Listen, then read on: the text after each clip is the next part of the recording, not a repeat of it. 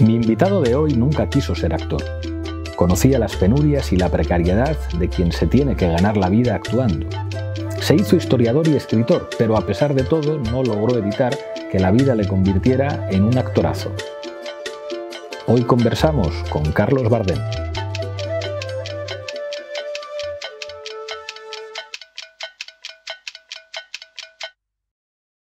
Carlos Bardem, bienvenido. Muchas gracias por invitarme. Tengo que empezar, digamos, por la distopía en la que vivimos. ¿Tú te habías imaginado alguna vez que vivirías una pandemia mundial? Bueno, una catástrofe al convertirse en cotidiana siempre te sorprende. Ninguno estamos preparados para vivir una catástrofe. Yo siempre pienso que quizá mi formación como licenciado en historia me ayuda a poner las cosas en perspectiva. Realmente las pandemias no son nuevas, las pandemias han existido siempre. Eh, de 1917 o 1918 al 21 murieron 50 millones de personas por la gripe española, hace relativamente poco de eso. Y las pandemias están ahí. Lo que pasa es que nosotros tenemos tendencia, el ser humano tiene tendencia, quizás es un psicológico básico, a olvidar los dramas para poder seguir tirando hacia adelante. ¿Esto es una distopía? Sí. Esto es también esto es también un examen feroz al, sistema en el que vivimos. Esto, yo, a mí, no sé, yo tengo 57 años, no me considero un señor especialmente negativo o pesimista, pero yo cuando oía aquello de saldremos mejores, decía, bueno, saldrán mejores los mejores y saldrán peores los peores. Y en estas situaciones eh, terribles, dramáticas, es cuando se ve lo mejor y lo peor del ser humano y, y cuando se ve lo mejor y lo peor de un sistema, de una globalización que se sostiene sobre la precarización de miles de millones de personas. Cuando tú tienes que confinar a miles de millones de personas, hay unos que se confinan mejor que otros.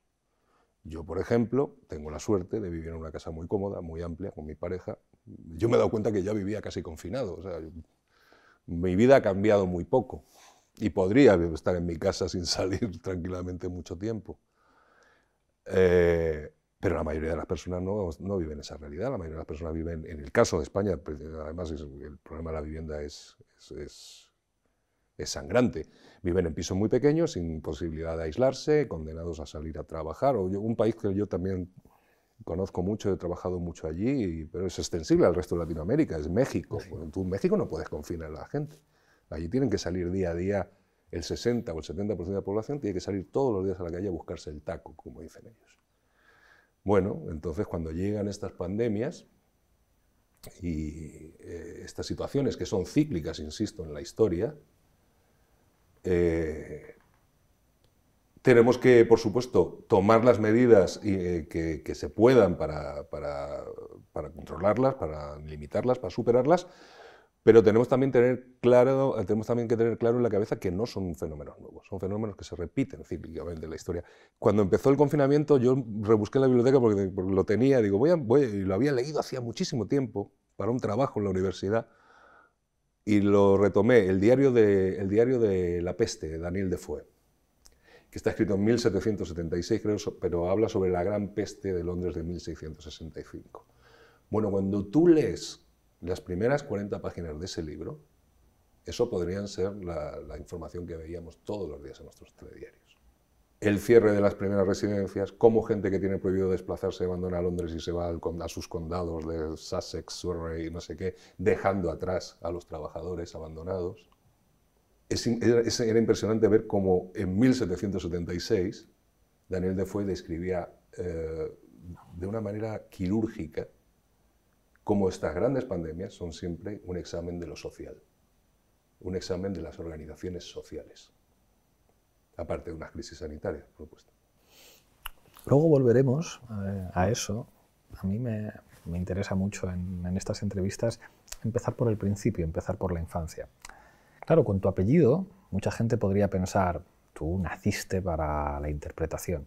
Sin embargo, a mí me han contado que era un poco al contrario, o sea que, digamos, la principal o una de las principales conclusiones de tu infancia es que no querías ser actor, o sea que habías vivido una situación familiar, pues a veces muy difícil y con mucha precariedad, y asociabas la interpretación pues eh, a la precariedad económica y no era eso lo que más te motivaba. No, no, yo oía la palabra actor o actriz y salía corriendo para el otro lado.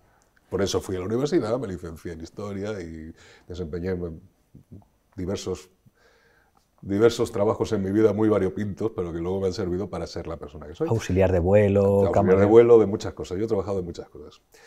Eh, sí, yo, mi madre es una señora que, que le llegó el reconocimiento profesional, no el profesional, ella era lo que siempre se ha, se ha dicho en nuestra profesión, una actriz eh, de la profesión. O sea, una actriz que fascinaba a sus compañeros, eh, una actriz que era muy respetada como intérprete entre el colectivo de actores y actrices, pero que no había tenido un gran, un gran éxito de que la colocara de cara al público. Eso le llegó muy tarde a mi madre, llegó con Nadie hablará de nosotras cuando hayamos muerto de Díaz Llanes. Con lo cual a mi madre, yo, pues, que soy el mayor de los tres hijos, pues... Que tú sabes que esa peli se rodó en mi barrio, en Fontarrón. Claro. O sea, que yo me acuerdo perfectamente cuando se rodaba, que volvía del instituto, que a veces nos paraban, entonces las veíamos eh, a las dos, a Victoria y a, y a ella, es la hostia. O sea, es de... Pero yo soy el mayor de los tres hermanos, entonces yo, digamos, pues, pues, lógicamente, por cronología, soy el primero que es más consciente del asunto. Y yo viví lo, lo, lo, absolutamente precario y absolutamente falto de glamour que es la profesión del actor o de la actriz cuando no tiene trabajo. Mi madre era una señora que durante años, pues yo la veía dormir dos horas porque compaginaba una sesión en una película de Ozores, con una sesión en un estudio 1, con un café teatro con una función. Era una mujer que no paraba de trabajar.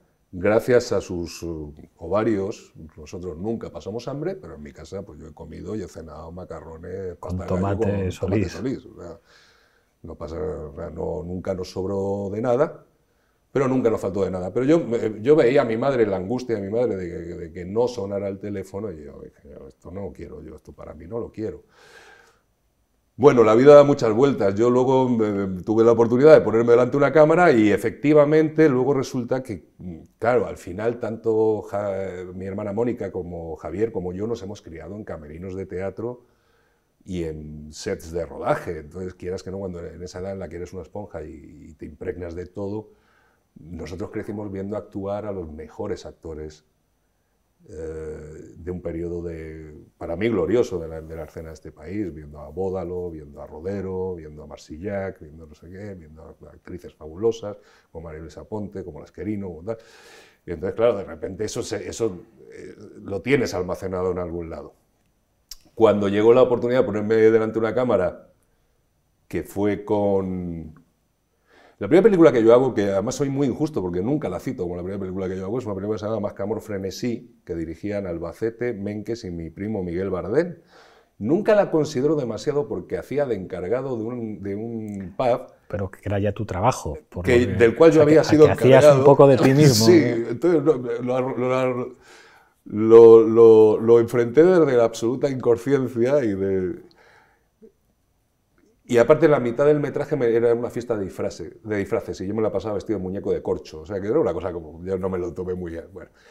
La segunda fue Perdita Durango, que en su momento sí fue la película más cara del cine español claro, y que era en inglés. Sí, sí. Y eh, bueno, yo llegué allí. Cuéntame cómo, porque esto. ¿Cómo acabas tú en Perdita Durango? Pues eso es muy curioso, porque Perdita Durango primero iba a tener un casting absolutamente distinto.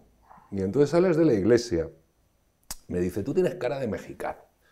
Das el pego, sí, sí. Doy el pego de, puedo ser de, de sueco, no, pero de, de, de, Río Grande para abajo sí doy, he hecho bastantes papeles de, distintas nacionalidades por ahí. Y hablas inglés, digo, sí, digo, bueno, vámonos a México. Bueno, en aquella época estaba muy, muy... Cuando Alex me comentó esto la primera vez, mi hermano no iba a hacer la película todavía, iba a ser Benicio del Toro. Luego me, me, cambiaron las cosas y mi hermano y Rosy Pérez fueron las, los protagonistas. Bueno, yo me fui allí, pero yo yo lo que me atraía sobre todo de esto, primero era la... Yo siempre tenía una, una pasión por el viaje, eh, por una forma muy concreta de viajar. Y, eh, y, me ofrecían la posibilidad de hacer un viaje acompañado de mi hermano, ideales de la iglesia, que en aquel momento, cualquier, bueno, y todo el resto del equipo, estábamos todos patarnos en aquella época, y entre México y Estados Unidos. Entonces yo, yo realmente llego a la película, le digo que sí, desde la absolutamente inconsciente, de una manera absolutamente inconsciente, porque me fui a Ediciones B y les dije, oiga, mire, a mí me han contratado para una película, a mí lo que me gusta de verdad es escribir. Yo les ofrezco escribirles un diario eh, gonzo, una especie de, periodismo allí, de periodista empotrado en un rodaje, que va a ser una locura, ya se lo garantizo yo, y hacer un, pues un, un, making of, un diario de rodaje y también al mismo tiempo un libro de viajes entre, en la frontera entre México y Estados Unidos que me parecía fascinante. Me dijeron que sí, entonces yo me fui con la cosa de, bueno, que bien me lo voy a pasar, voy a escribir un libro. Alex de la Iglesia, que si nunca le estaré bastante agradecido por esto, apostó por mí. Luego yo creo que él pasó mucho susto porque yo mi primera escena en esa película es una en la que estoy en un jardín de una mansión que era la casa de Indio Fernández con un actor llamaba Don Stroud, que en aquel momento había hecho 450 películas, era un secundario mítico de, de Hollywood, rodando en inglés. Y Don Stroud, mientras yo le contaba no sé qué, él tenía que beber zumo de naranja. Bueno, yo llegué allí convencido de tal, acción, y no había manera de que dijera lo que tenía que decir. El pobre Don Stroud se tuvo que beber como dos litros y medio de zumo de naranja, casi me lo cargo a este señor, casi de una descomposición gástrica. Pero bueno, luego fuimos, eh, fuimos eh, superando los obstáculos y, y, sí, de alguna manera... Eh, de alguna manera fue un momento en el que algo hace clic en mi interior y digo, bueno, pues, pues es que realmente esto es apasionante y realmente una vez que ordeno mis miedos y empiezo con la ayuda inestimable, por supuesto, de mi hermano, que para mí es un referente actoral fundamental, eh, empiezo a tener unas rudimentarias eh, herramientas, pues eso empieza a hacer un proceso mucho más bonito, mucho más gozoso. Ahora, es un trabajo eh, que lo hice desde la, absolutamente desde la más absoluta inconsciencia. Bueno, estábamos todos bastante inconscientes en aquel momento. Pero la película está ahí. La película, la verdad, es que es una barbaridad, es muy punky, pero es muy divertida. Totalmente. es... o sea, yo creo que Alex de la Iglesia tiene a mi juicio, la desgracia de que el Día de la Bestia es insuperable. Ah, pues y, luego todas las cosas que ha hecho después, que, son excelentes y que se ha atrevido con cosas que nunca nadie se había atrevido en el cine español, o sea, como el reflejo del feísmo español, eh, eh, em, ritmos tarantinianos que, que, ningún director aquí había, había hecho. Y aparte yo creo que o sea, creo que tu cara entra en ese mundo. O sea, que es como.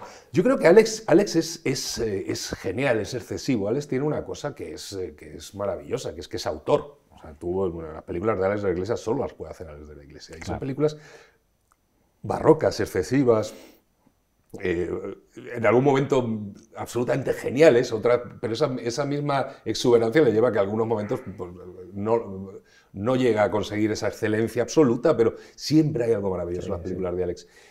Y luego además, Alex, que bueno, es una persona muy conocida en este país, pero yo lo digo, Alex es una persona de una cultura enciclopédica, extensa y maravillosa. Y entonces es un tipo que tiene una cantidad de referencias a la hora de crear sus historias, porque desde el cómic y lo más tarantinesco se ha visto todo el cine del mundo, pero luego tiene una formación casi tomística, filosófica, o sea, es un por Deusto, es un señor con una cultura apasionante.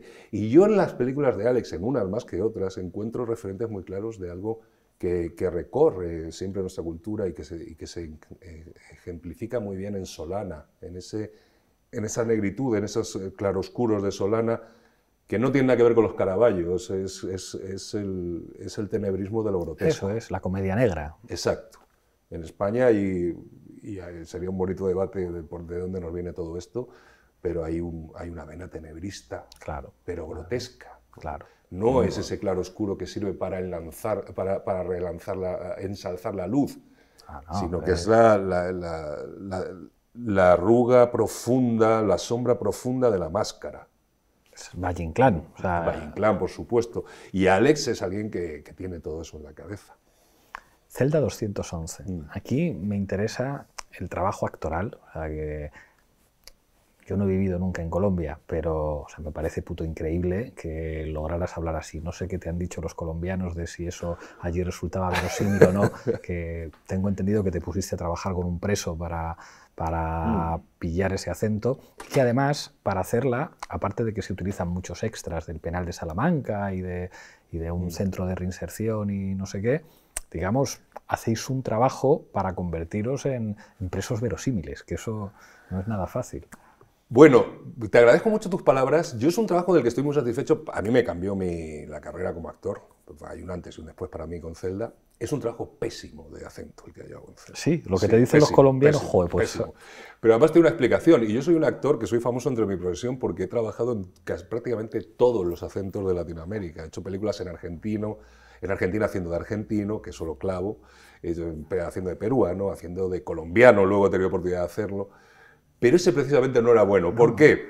Porque yo tengo muy buen oído para los acentos. Los acentos no es solo eh, los eseos y tal. Es clavar bien un acento tiene mucho más que ver con entender la mecánica de, ese hablar, digamos, eh, la partitura. Los españoles hablamos hacia abajo, los latinoamericanos siempre hablaban hacia arriba. Entonces, yo, por ejemplo, en México, es una cosa que siempre cuento, en México a mí me representa una muy buena agencia de representación, Talent on the Road, que tienen allá los actores y actrices le llaman talentos. Entonces, tú te metes a la página de Talent y pone talentos internacionales. Y entonces están pues, la gente que llevan de fuera de México. Y digo, talentos nacionales, Carlos Bardem. A mí me venden como actor mexicano. Yo en México ya hago hasta acentos regionales. Es una cosa... Pero ese precisamente no fue un gran trabajo. Y si verla, eh, creo que es un buen trabajo de actor, pero yo ahí tenía pues un hándicap. A mí me vendiste la moto. Claro, pero yo ahí tengo un hándicap. Cuando yo ruedo en México o en Latinoamérica, que he trabajado muchísimo allí, suelo ser el único español del, del, crew, del, del, equipo. Entonces entro en un proceso de inmersión lingüística, yo, me levanto, yo durante 24 horas al día adopto el hablar, y, esté rodando o no esté rodando, yo me pongo a hablar en mexicano, me pongo a hablar en argentino, me pongo a hablar en lo que sea. Esto lo rodábamos en un penal en Zamora. Y entonces, claro, eh, yo cuando decían corte, pues estaba ahí Luis Tosar, que es como un hermano, eh, Alberto Man, que nos hicimos hermanos, eh, Luis Zaera, Vicente Romero, un montón de amigos y, diverso paisanaje. Y era incapaz de mantener el acento. Mm, o sea, en esa película mi personaje habla como paisa, pero luego habla como costeño, luego en un momento se pone, se pone a hablar en cubano. es una cosa pero bueno, eh, creo que el resultado final, la, verdad es que sí es bueno y, es una película que, bueno, es histórica en el cine español y, que a mí desde luego me dio un empujón como actor muy importante. Te quiero preguntar por tus reflexiones sobre dos deportes que mm. no son deportes mainstream en España. Uno es el boxeo y el otro es el rugby. Del rugby has dicho que es lo contrario al fútbol, donde siempre hay una estrella que destaca. te leía una cosa que decías, en el rugby la mayor parte de los jugadores no tocan el balón, están todo el tiempo trabajando para que el equipo adquiera ventaja. Y digamos, reivindicabas esa filosofía del, rugby y en el caso del boxeo reflexionaba sobre... Eh, ¿Es un mal boxeador el que trata de noquear en el primer asalto? ¿Es eh, un deporte mucho más mental que físico? En, hay una cosa, eh, cada uno tenemos unas... Yo tengo un físico que es el que soy, es un tío grandón y a mí... Eh, yo empecé a jugar al rugby muy de chaval, luego metí a mi hermano. Y yo lo que aprendí en el rugby es una cosa, el rugby es un deporte... Eh, esta famosa frase es un deporte de, de, villanos jugado por caballeros en contraposición con el fútbol, que es un deporte de caballeros jugado por villanos. En el rugby es cierto que a ti te enseñan que eres pieza de un equipo. Hay un, dato, ahora se está perdiendo con el profesionalismo, pero todavía se mantiene a nivel selecciones nacionales. Tú en las selecciones nacionales verás que ninguna camiseta lleva el nombre del jugador. Tú llevas un número. Tú eres el 1, el 5 o el 15, pero no pone tu nombre en la camiseta, porque tú eres un jugador de Francia, de España, de Nueva Zelanda, de Italia. Luego te inculcan una serie, quizá por ser un deporte donde el contacto es brutal, es muy limpio. Y, eso se basa también en que te enseñan un respeto sacrosanto a las decisiones del árbitro. No verás a nadie fingir una lesión en un partido de rugby, es, una cosa muy marciana, y no verás a nadie discutir una decisión del árbitro. Entonces yo creo que son valores que son muy trasladables al, cuerpo social. Decir, bueno, si aceptamos unas reglas de juego y esas reglas están bien definidas, tenemos que ir todos a favor de estas reglas y aceptarlas y, mantenerlas y defenderlas. Y luego esa conciencia de que tu esfuerzo sin el, sin el, esfuerzo de tus compañeros no sirve. No hay, por supuesto hay grandes estrellas del rugby, pero eh, no hay un jugador de rugby que te gane un partido. Y tú peleas durante 90 minutos y es una pelea física, es una pelea muy dura y cada vez más porque la evolución de las técnicas de entrenamiento y la morfología de los jugadores ya no tiene nada que ver con cuando jugaba yo. Ah, yo ahora sería un enano. Son enormes, claro. Son enormes y fuertísimos. Es una lucha constante, se juega en todo el campo, peleas y peleas y peleas y como tú dices, sí, hay veces como un delantero o en ciertos puestos no llegan a tocar el balón. Y no les importa, pueden hacer un partido magnífico, porque lo que están haciendo es empujar, ganar eh, situaciones de ventaja para que luego ese balón lo jueguen otros jugadores y, anoten. ¿no? Yo creo que es un deporte maravilloso, es un deporte que, que recomiendo fervientemente. Creo que para los niños es, eh, es los niños además cuando empiezan a jugar al rugby ahora juegan al, al, al, tocata, que se dice, que sin placajes, sin contactos, pero ya van aprendiendo esos valores, ya van aprendiendo a funcionar en función de sus compañeros, a, trabajar en equipo y a suprimir veleidades eh, y divismos porque realmente no funcionan en el campo de juego. En contraposición con esto está lo otro, que es el boxeo, que todo lo contrario, es el individualismo llevado a su máxima experiencia. O sea, no hay nada más desolador, más terrible, más exigente y más brutal que la soledad de un boxeador en un ring. Yo no, yo soy un, a mí me gusta el boxeo, he practicado boxeo de manera uh, aficionado, como entrenamiento, porque creo que es un entrenamiento muy, uh, muy uh, completo. Yo le encuentro ciertos valores que tienen mucho que ver quizá con mi formación cultural. Eh, no recomendaría a nadie que se haga boxeador profesional.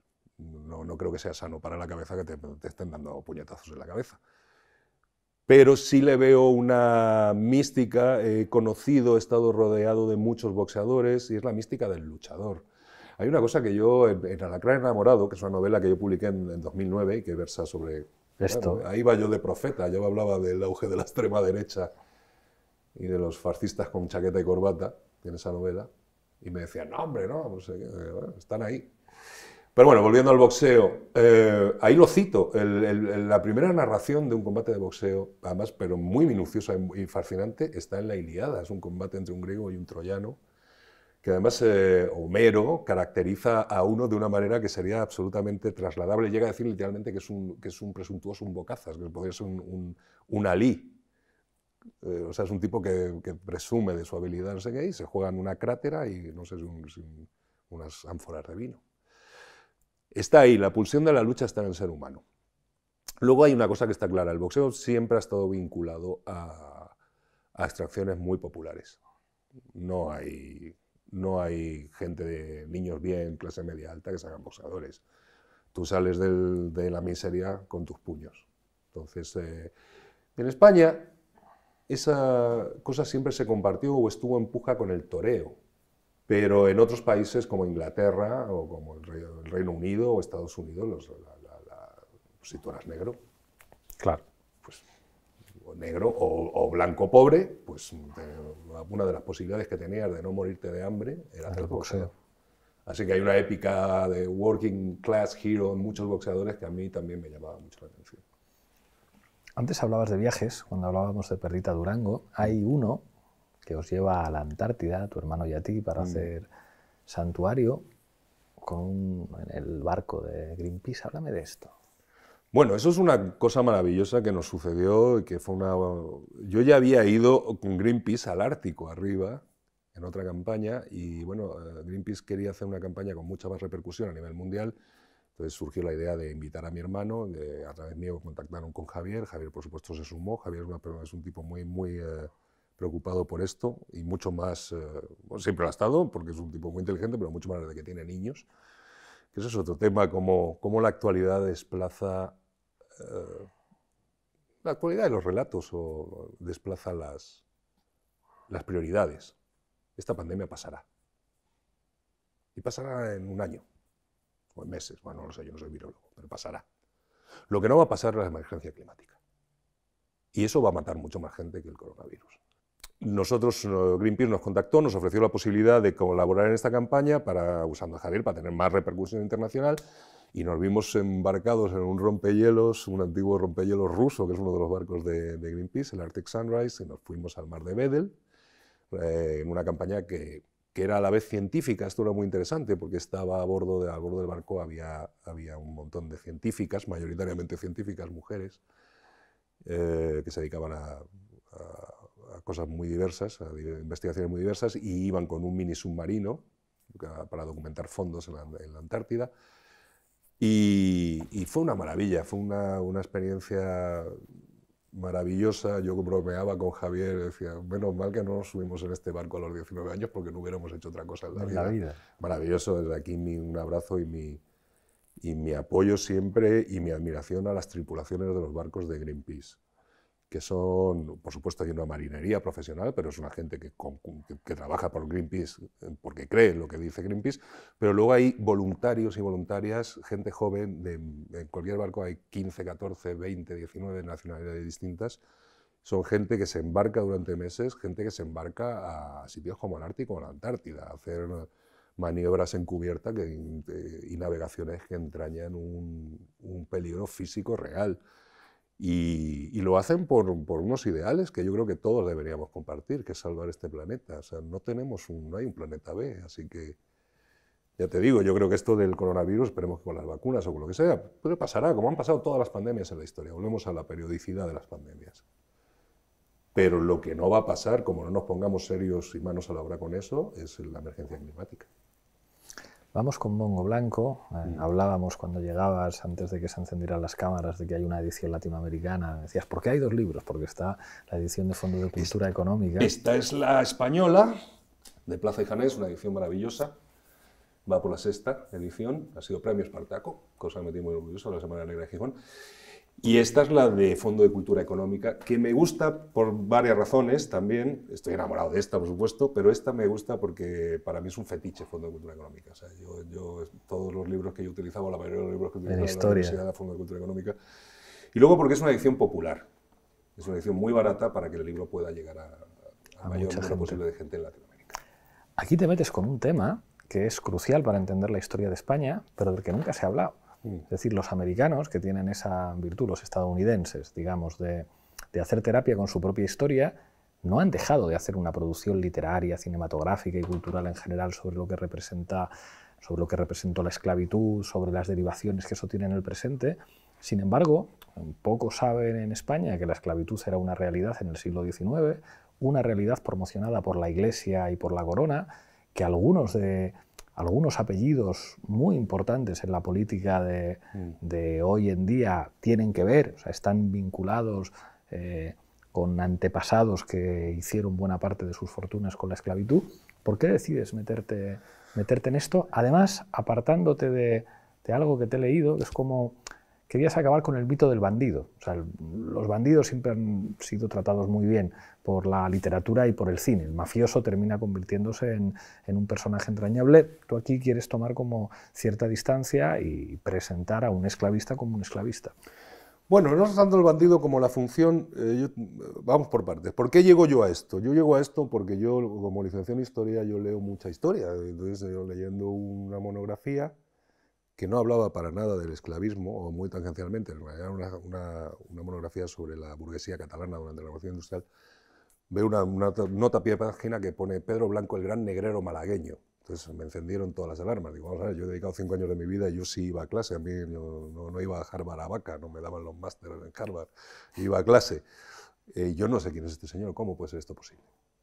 Entonces eh, me pongo a leer y me encuentro con este personaje fascinante, que tiene una novela previa maravillosa, que se llama El Negrero, de un español, Lino Novas Calvo, que se exilió en Cuba en los años 30, y que es una novela fascinante que aborda el personaje desde otro lado, pero yo la recomiendo, es una, gran novela. Pero bueno, yo me pongo a investigar sobre este señor, y entonces me encuentro, yo, yo creo, los libros te encuentran a ti. Yo creo que todos los que escribimos escribimos para entender, no para explicar, sino para entender. Luego, si tú, ese proceso ayuda a otros a entender, pues miel sobre hojuelas. Yo tenía en la cabeza reflexionar sobre el mal, el mal absoluto. Cómo puede haber personas que vivan haciendo el mal absoluto y otras sufriendo el mal absoluto. Entonces me encuentro por casualidad con este tipo, me despierta la curiosidad y me encuentro con una figura de un monstruo perfecto, canónico, el mejor de los monstruos, el monstruo que reúne todas las monstruosidades posibles en un ser humano, señor de Málaga, del Perchel. Y digo, y ese monstruo además se proyecta contra un forillo que es perfecto, que es el mundo de la esclavitud, de la trata de esclavos. Digo, bueno, si quiero hablar sobre el mal, no hay nada más malvado ni más perverso, ni más desigual que la relación que hay entre un amo y un esclavo. Me pongo a investigar. Eve, como tú dices, y ahora entraremos en eso, mm, em, no, no hay que hacer una investigación en arcanos archivos, o sea, hay mucha monografía histórica. Esto está muy documentado en el círculo académico. Lo que pasa es que es un, debate o una información que se le ha hurtado al gran público. Y ese es uno de los éxitos de Mongo Blanco, que la gente dice, ah, demonios, o sea, que éramos esclavistas. No, éramos esclavistas, no, fuimos de los más grandes de los esclavistas. Pero bueno, entonces yo me pongo a investigar ah, y, siempre con la idea de, reflexionar sobre ese mal absoluto. Y entonces se me aparece una cosa que me fascina, que es, no existe el mal absoluto. O quiero decir, Existe el mal absoluto, pero tiene como condición sine qua non tiene que ir ayudado, apoyado o sostenido por la banalidad del mal. Concepto de Hannah Arendt. Tú no puedes mantener una atrocidad, ya sea el esclavismo, ya sea la precarización neoliberal, ya sea el racismo. Tú no puedes mantener una atrocidad contra millones de personas en el tiempo sin la participación cómplice de millones de personas, entre comillas, normales. Y entonces ahí me pongo a investigar y efectivamente descubro toda esta élite, eh, aristocracia, élite económica, mm, esclavista española, desde la reina María, eh, los reyes para abajo. Pero hay un dato que yo deslizo en la novela que me parece muy ilustrativo de lo que te cuento. Eh, las expediciones negreras se financiaban por venta de participaciones. Mandar un barco a África por negros tenía un coste esos negros que se compraban, se compraban normalmente eh, con mercancías, pagando mercancías. Era muy raro el pago en efectivo. Esas mercancías eran mercancías que se compraban al por mayor en Cuba o en, Europa y que solían ser además lo que los negreros llamaban la Santa Trinidad, que era ron, pólvora y mosquetes, lo necesario para mantener todo ese interland en una guerra permanente, porque la guerra era la fuente real de esclavos. Y había que contratar una marinería para ese barco, había que equiparlo, bastimentos, etc. Bueno, mandar un barco tenía un coste. ¿Cómo se sufragaba? Vendiendo participaciones. Por supuesto, había grandes negreros, grandes esclavistas, que ellos solo sufragaban una expedición.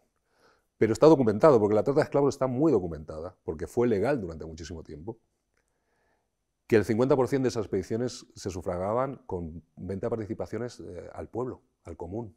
O sea. Eh, si tú y yo viviéramos en La Habana en 1827, seguramente seríamos esclavistas. De una manera u otra. Poseyendo esclavos directamente o participando de cualquier actividad económica, porque cualquier actividad económica se hacía a través de los esclavos. Entonces, ¿qué pasa con la esclavitud? Que la esclavitud era el gran negocio de la época. No había nada más rentable que la trata de, esclavos. Entonces, eh, Ahí entra el concepto de la banalidad del mal. Si tú eras un tipo que tenía una tienda de abarrotes o una costurera que te habían funcionado bien los encargos o un tabernero que habías ahorrado tus pesitos, decías, ¿dónde pongo yo mi dinero que me dé más, más retorno? Pues en comprar negros. Con, esto, con mis ahorritos puedo comprar dos, porque los negros eran caros. Puedo comprar dos. Uno lo vendo y recupero y gano, y otro que trabaje para mí. Con lo cual, La Habana se convirtió, Cuba, las Antillas españolas, se convirtió en una especie de Atenas en las cuales eh, la gente se dedicaba pues, a la vida política, a la vida social, porque realmente no trabajaba nadie, nadie que no fuera un esclavo. Y eso tiñó todas las relaciones sociales, eh, no solo en las Antillas, sino también en, España. El kit de la cuestión es, como te he dicho, que todo... Eh, el capitalismo tiene varias leyes de hierro. Una de ellas es que el dinero siempre se escurre como agua buscando los espacios de máxima rentabilidad, y otra es que cada vez se concentra en menos manos, la concentración de riqueza. Entonces, cuando la trata de esclavos era el, negocio más eh, rentable del, mundo, en su momento, del mundo, ambas orillas del Atlántico, por supuesto, toda la gente que tenía dinero quería participar de ella. Así que la reina regente María Cristina de Borbón y su marido morganático, Agustín Fernando Muñoz, duque de Riánsares, eran los mayores propietarios de esclavos de la isla de Cuba. Tenían el mayor ingenio, eran socios inversores en expediciones negreras. El arzobispo de Toledo, colocaba parte de las rentas del arzobispado en las expediciones negreras. Con la, Iglesia ya sabemos que siempre tiene muy buenos argumentos, tienen una dialéctica florida. Entonces el tipo decía que, bueno, por mal que vivieran como esclavos en Cuba, estarían bautizados y eso siempre sería mejor que que vivieran libres pero paganos en sus junglas. Pero debajo de esta gente estaban todas las diputaciones provinciales. Diputaciones provinciales, pero además la, de Alicante, la de, no sé, la que se te pueda ocurrir. Eh, del interior, sin, sin, puerto de mar, sin ningún vínculo con el comercio marítimo o con la trata de esclavos, ponían su dinero en esto. El volumen y la riqueza que generaba la trata de esclavos es tan grande que está en la acumulación originaria de capital de todas las industrializaciones españolas y, del gran urbanismo del 19 español. El Eixample de Barcelona no es más que la inversión en bienes e inmuebles de la riqueza de los negreros cubanos. En la calle Goya todavía está el Palacio del Marqués de Argudín, se puede visitar. Eso está hecho con dinero de la trata cubana. Este Argudín era un gran negrero. Antonio López y López, Marqués de Comillas, Palacio de Comillas, era un negrero furibundo, y no solo un negrero furibundo, sino que además era, el anfitrión habitual en sus vacaciones del rey Alfonso XII, que también, por supuesto, participaba de todos estos asuntos. Eusebi Well, el Palacio Well de Barcelona, el mecenas de Gaudí, era hijo de Joan Well. Joan Well fue uno de los más grandes negreros de Cataluña. Entonces, eh, la banca Pastor la crea Manuel Pastor, que era un negrero, un negrero cubano. Multitud de bancos, multitud... La Bolsa de Barcelona se crea por los negreros eh, catalanes de Cuba, para escapar del control de la Bolsa de Madrid. Entonces, a nosotros nos han contado el cuentito de que los negreros siempre eran otros, que los negreros eran los holandeses, los ingleses, por supuesto, que fueron grandes negreros, claro que lo fueron.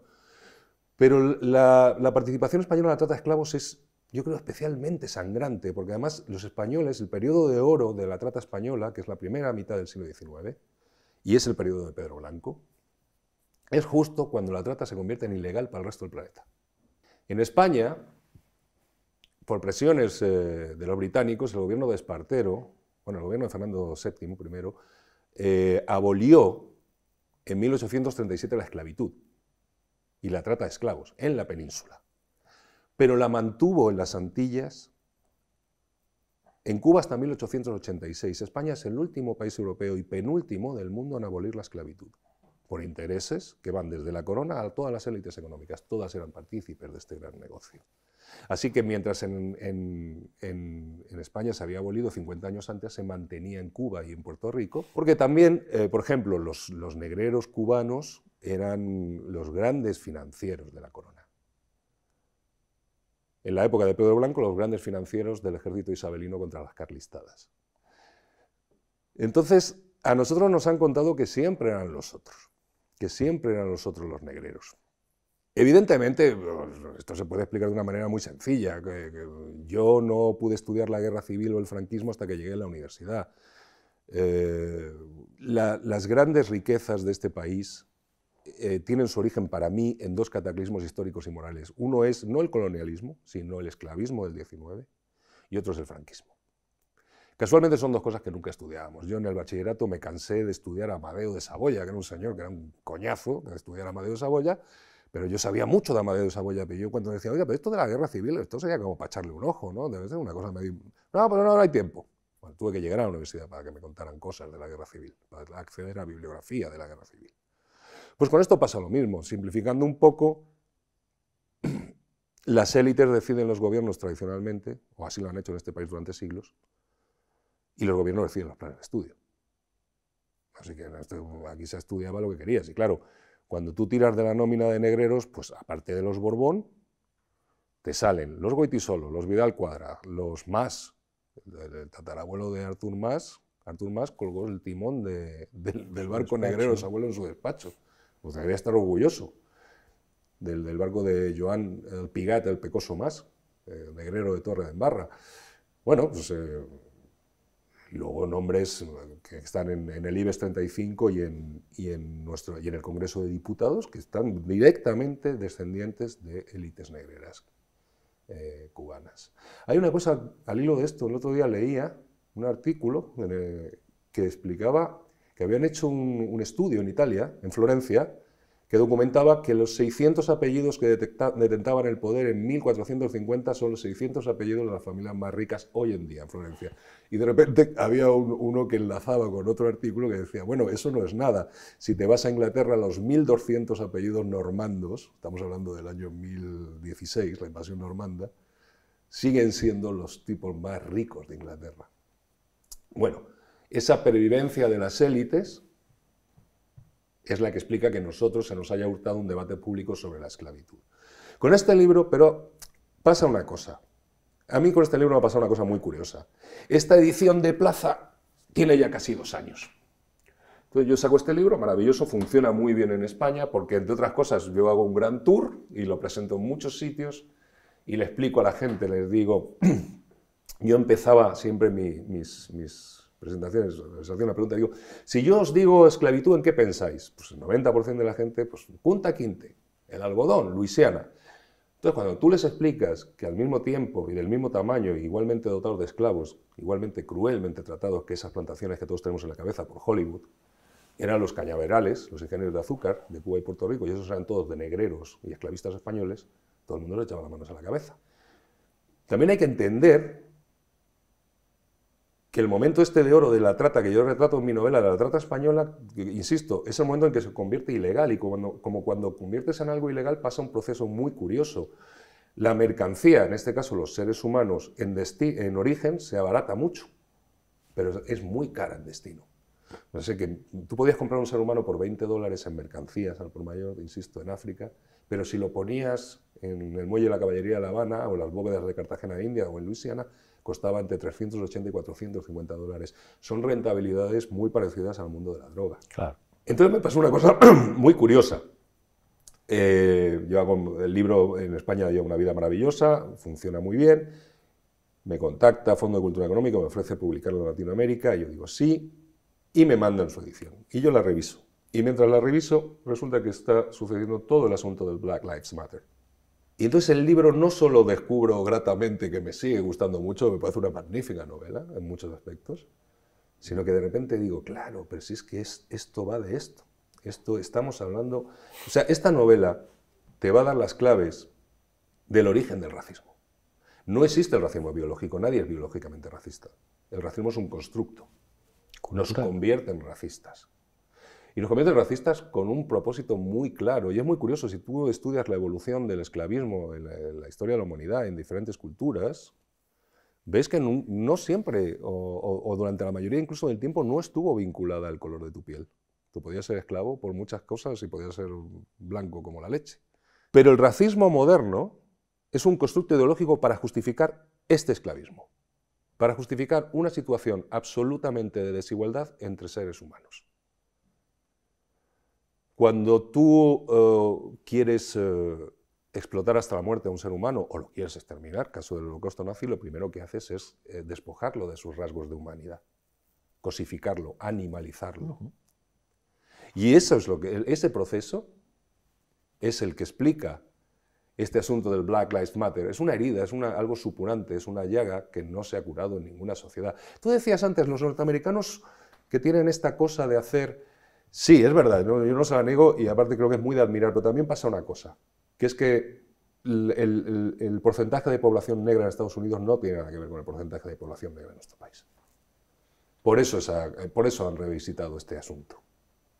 Y en España es una cosa que está pendiente. Entonces, cuando yo leía Mongo Blanco mientras derribaban estatuas, y decía, claro, qué pertinente es esta novela entonces, porque te va a dar los argumentos y te va a explicar por qué y para qué qué función intelectual y qué función económica y política tenía crear racismo, convertir a la gente en racista.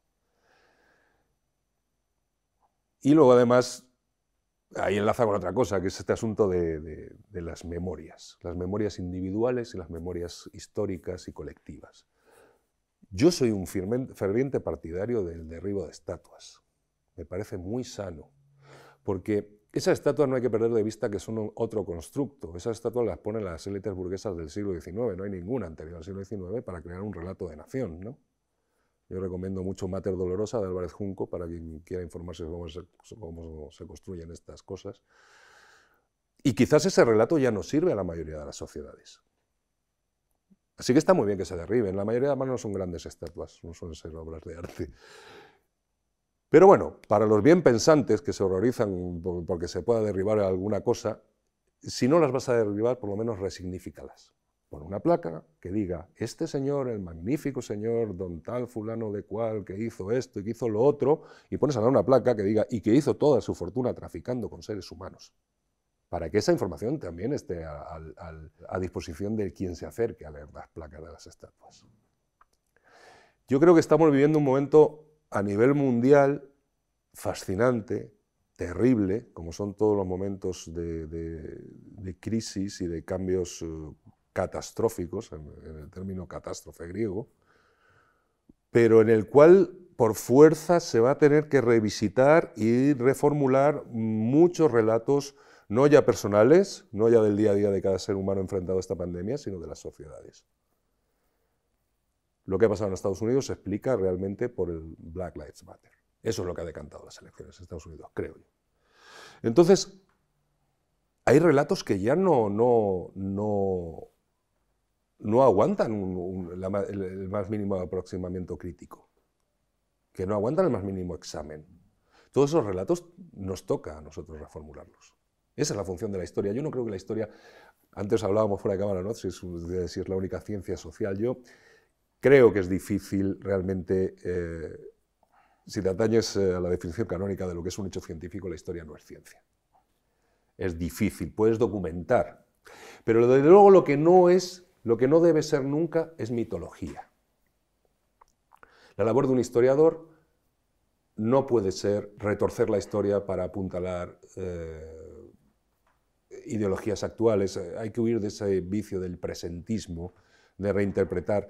Hay una cosa muy curiosa que pasa mucho en la novela histórica de nuestro país, que ha sufrido un boom en los últimos años, que son todos, realmente, la, inmensa mayoría de esas novelas son como una vuelta al mundo de, raza y, de alba de América. Dicen, oiga, pero vamos a ver, eh, bien documentadas algunas de ellas, otras pésimas, pero mm, hay como una voluntad de ensalzar. Y eso sí que es un error que se puede eliminar y se debe eliminar. Yo desconfío tanto de quien ensalza la historia por sistema como de quien desconfía o denigra de la, historia por sistema. La historia no es buena ni mala, es. Hay que documentarla, y cuanto más aparato documental aportes, más eh, posibilidades hay de llegar a un consenso o a una conclusión común sobre un hecho histórico. Aquí, porque aquí creo que se abre un debate muy interesante, creo que hay dos dimensiones. La historia como ciencia, que hay, o sea, creo que estoy de acuerdo contigo, cuando Engels en la tumba de Marx mm. dice, Marx es a la historia lo que Darwin a la biología. Hombre, pues a lo mejor no tanto. Mm. Pero es verdad que hay digamos, una ciencia de los historiadores que tiene una metodología determinada, una consulta de fuentes rigurosas, digamos, una ciencia social que yo creo que es, eh, digamos, la más potente de las ciencias sociales. El resto de las ciencias sociales son marcos teóricos para, entender la historia, la economía, la sociología, la, la ciencia política. Pero luego, por esto que decías, que esto sí me parece preocupante desde el presente, entendiendo que la política es un combate contra la historia, el problema del relato, porque en esto que tú contabas, el derribo de estatuas, te puedes encontrar a representantes de, millones de ciudadanos negando en sede parlamentaria que, los conquistadores españoles eran esclavistas y poniéndose a hacer cómo tal, incluso justificándolo diciendo, bueno, pero es que en esa época se vivía de otra manera. El trumpismo es eh, la última expresión del relato más eficaz. Es como cuando decía lo de Make America Great Again y, había algunos eh, periodistas muy cachondos que se iban en un meeting de Trump, de Trump diciendo, ¿pero cuándo? O sea, ¿cuándo fue eh, América eh, mejor que ahora? Entonces, es divertidísimo las respuestas porque ninguno es capaz de dar una respuesta coherente de en qué momento América era mejor que en este momento. Sin embargo, como relato era enormemente potente. Entonces, aquí, que yo creo que tú lo consigues con la novela, hay una pelea política que nosotros siempre tenemos más difícil, porque tenemos que ser rigurosos con el pasado, de interpretación. O sea, que en esto los americanos son la leche, o sea, ellos son capaces de convencerte de que la batalla crucial de la Segunda Guerra Mundial es el desembarco de Normandía, claro, que es como, dices ya... El 88% de las bajas alemanas fueron en frente. Esto es, pero dices, ¿cómo combates tú con historiadores rigurosos que unos tipos tengan una industria cultural? La potencia de Hollywood a la hora de crear relato, pues es... Es que esto habría que llevarlo al cine, porque mucho más tú decías, hay muchas monografías eh, y mucho trabajo de historiadores rigurosos sobre eh, la esclavitud en España, pero si se consigue que se haga una serie en la que cientos de miles de jóvenes eh, ven esto, eso tiene más eficacia a la hora de que la gente sepa de qué se puede sentir orgullosa y de qué no, eh, que, que, digamos todo... Se hará, pero lo que pasa, ahí acabas de dar con una clave y esto es un, es un debate que yo creo que nos lleva a, a categorías mucho más amplias. Vamos a ver. Eh, estar orgulloso. Estar orgulloso es una emoción. Es una emoción irracional. Normalmente el orgullo no se basa en, en, cosas eh, racionales. O, el orgullo tiene mucho que ver con, con, lo emocional. La pasión. El problema que estamos y en esta pelea por el relato es que de un lado intentamos eh, eh, hacer honor a los, a los, hechos, a los datos, retratar fielmente algo, y del otro lado vale todo. Vamos a ver, hay una cosa que está clara. La, desgraciadamente, o yo lo veo así, desgraciadamente la única revolución global que triunfó en, las décadas pasadas fue la neoliberal. Eso, mm, eh, el sistema neoliberal no se sostiene sin enriquecer muchísimo a unos muy pocos a base de empobrecer y aplastar a muchísimos millones de personas. Pero como dueños que son de los emisores de relato, ellos han conseguido que, que muchos de esos millones de personas que viven precarizados y que viven empobrecidos se sientan partícipes de un modelo exitoso. ¿Cómo se consigue esto? Pues esto se consigue desprestigiando la ciencia y desprestigiando la verdad. Vivimos en una época en la que la verdad ya no tiene valor. Pues esto sale, ¿has visto Years and Years? Cuando hay uno que defiende abiertamente que la Tierra podría ser plana y uno que dice, pero ¿cómo va a ser plana y tal? Y otro le dice, yo no te digo que sea plana, solo te digo que abras tu mente y que entiendas que puede haber otras perspectivas, que es como decir, ¿qué coño es esto? Claro, pero eso, eso, eso no se podría eh, llevar a cabo en una, en una época dominada por el conocimiento científico, o por la pasión técnica o por el progreso. Eh, quizás en la época de la Ilustración, pues, claro, o, a principios de la industrialización del 19 era mucho más difícil. También es verdad que en aquella época eran unas élites las que creaban, eh, a las que se circunscribía el conocimiento. Pero, pero digamos, el problema, el problema esencial del mundo en el que vivimos es que vivimos en un mundo en el que vale todo, en el que puede, puede llegar un tipo y decirte, eh, y que tú le digas, es que eso que usted dice no es verdad, y él diga, bueno, es mi verdad. Claro. no, es que la verdad no es su verdad o mi verdad, la verdad es la verdad y la mentira es la mentira. A partir de ahí, y eso Trump es el epítome de eso, pues todo vale, todo vale. Y tú, entonces yo asisto pasmado a relatos sociales e históricos que, dices son infumables, intragables, no están más que basados en mentiras, pero que son muy aplaudidos. ¿Por qué? Porque gran parte de, la gente que se ha quedado eh, arrinconada, a la que han dejado tirada, o que se siente abandonada por el sistema neoliberal, ha sido captada para una irracionalidad, para un modo de pensar irracional. Les ponen culpables delante, suelen ser pues, gente más pobre que ellos, los inmigrantes, los no sé qué, los no sé cuántos, y les alivian. Hay una cosa que, yo siempre... El fascismo es, por supuesto, reptiliano, es irracional. El fascismo es la vertiente política del neoliberalismo es el brazo político del neoliberalismo, y siempre se basa en mensajes eh, reptilianos, que, van a tu estómago, van a tu... Cuando tú has perdido la fe en un modelo porque ese modelo te ha dejado tirado, porque has quedado fuera de los beneficios del modelo, te sientes perdido, te sientes confuso. Y ahí es donde abres tus oídos y abres tu sensibilidad a escuchar cosas irracionales. Que en el año 2020 haya gente por ahí diciendo que la Tierra es plana, eso es un fracaso educativo a nivel global. Que haya gente diciendo que nos meten chis, los chis, en una vacuna. Pero no cualquiera. Que es para decirle, oiga, imbécil, ¿usted ha visto el tamaño de la batería de su teléfono móvil? ¿Usted cree que se puede meter un chip en una vacuna? Bueno, pues calan, esos mensajes calan. Y eso cala porque hay millones y millones y millones de personas que están asustadas y confusas. Pero esos mensajes, que son los más fácilmente ridiculizables, es decir, mm. cualquiera puede ridiculizar a Miguel Bosé, ya, ya, mm. pero que es que ponte un telediario, ponte un ah, telediario en el que te hagan una escaleta, que te digan eh, el problema de la ocupación es el gran problema de la vivienda en España y después de esto los menas que violan a, a mujeres españolas. Eso tiene una potencia de relato y luego con esto de las emociones es como, claro, es que la política es el arte del combate de las emociones. Eh, los que participan en, un ejemplo mítico, en el asalto del Palacio de Invierno, no están pensando en el materialismo dialéctico. No, no, no. Es decir, claro, eh, hay, hay una emoción. Entonces, ahí, si los instrumentos eh, para combatir a los que no tienen ningún tipo de escrúpulos, porque nosotros al menos, aunque asumas que la emoción es un ingrediente del éxito político imprescindible, joder, tratas de que lo que dices sea verdad. Es decir, no se puede mentir aunque se trate de emocionar, pero cuando tienes enfrente adversarios que viven cínica, como no creen además en absolutamente nada, entienden que, que la mentira es un instrumento político tan legítimo como cualquier otro.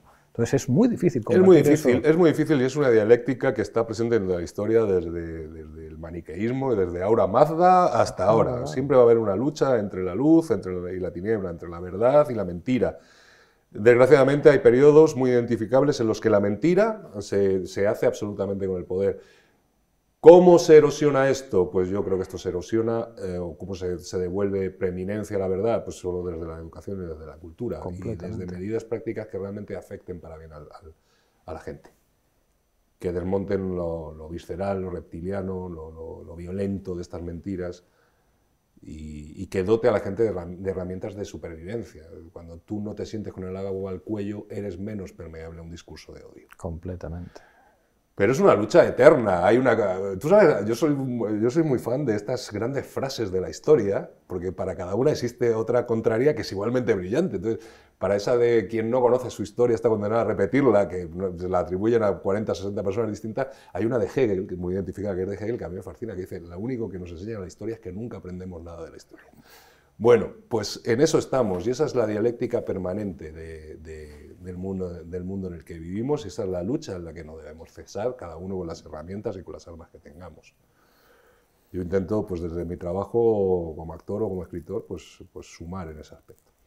Estamos en una rueda de reconocimiento ya, ya estamos llegando al final, yo te suelto nombres y con cinco o seis frases tú los describes. Empiezo por Alex de la Iglesia.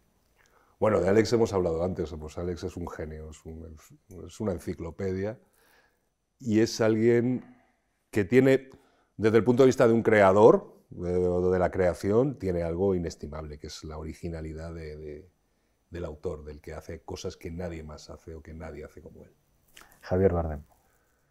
Pues mi, hermano, mi mejor amigo, y, mi hermano pequeño, mi mejor amigo, y sin, em, y sin embargo, pese a ser más joven que yo, mi maestro en muchísimas cosas.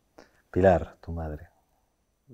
Mi todo, mi referente. Es, es el, yo parto de la base de que, casos patológicos aparte, todos queremos mucho a nuestras madres. Yo a mi madre la quiero por ser mi madre y por todo lo que ha hecho por nosotros siempre, pero es que a mi madre aparte la, admiro mucho como ser humano. Para mí es un referente de muchas cosas. Tiene una fortaleza y una capacidad de lucha y de no rendirse y de una coherencia en perseguir lo que cree que es justo que, que yo la envidio porque no creo que la tenga. ¿Tu tío? Mi tío yo no lo traté mucho. Mi, tío para mí es una figura a la que he llegado, a la que he llegado casi, lo traté un poco de, chaval, pero no, no, no, no, tuvimos nunca mucho roce. Pero es una figura a la que he llegado luego a través de su cine y a través de, una aproximación más intelectual y me parece que es una de, las, eh, de, los grandes nombres de nuestro cine en un momento en que era muy difícil hacer cine. Para mí, Muerte de un ciclista es una película absolutamente moderna, Calle Mayor es una película increíble, eh, me parece un genio. Me queda ya solamente el cuestionario. ¿Qué libro recomendarías leer a, todo el mundo, aparte de, Mongo Blanco, o el nuevo que estás preparando que no podemos contar nada todavía? No sé, yo soy fatal para estos cuestionarios, no soy incapaz de quedarme con un libro. Yo recomiendo leer. Leer, porque leer, de verdad, y más en estos momentos, es un refugio de humanidad. Lea lo que usted quiera, pero lea. En cualquier libro hay algo bueno y rescatable. Eh, aparte, creo que vivimos en una rueda de hámster, eh, fíjate, siendo yo actor, ¿no? De la red social, del audiovisual, del contenido que ya sale hoy y ya es viejo mañana. Bueno, cualquier libro que haya pasado el filtro de los años es un clásico y, es, por tanto, una decantación de lo mejor del ser humano y acercarse sin miedo a los clásicos. Mira, voy a decir una cosa que puede sonar hasta, hasta, hasta una perogrullada lean el Quijote. Yo tuve la suerte de leer el Quijote eh, de mutuo propio, sin que antes de que me lo mandaran en el colegio, y es de los libros más divertidos que existen. O sea, yo he llorado de risa con el Quijote. Lean el Quijote.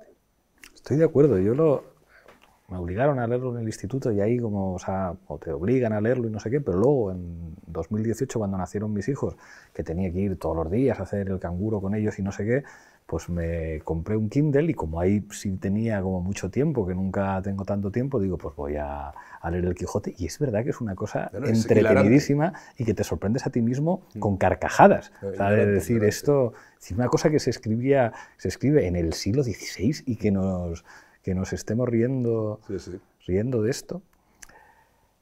¿Qué película recomendarías ver a todo el mundo? Pues lo mismo, es que no sé, yo no soy, soy incapaz de, de no sé, soy muy malo para estos cuestionarios, Pablo, de verdad. No puedo elegir una película, no sé, hay, hay, tantas. 900 Bueno, pues para, para que no se te dé bien esto, no lo terminas mal. Sí, pero te podría decir 10 o 12 más, no sé. Lo voy a poner luego más... soy enamorado de, de, John Ford, de, de Peckinpah, de cosas muy raras, de Truffaut, de no sé. De las series que has visto últimamente, ¿cuál te ha gustado más? Te lo pongo más fácil. De las series que he visto últimamente, ¿cuál me ha gustado más? Me ha gustado mucho Antidisturbios. Está bien, está me ha gustado bien. Mucho. Me ha gustado Patria.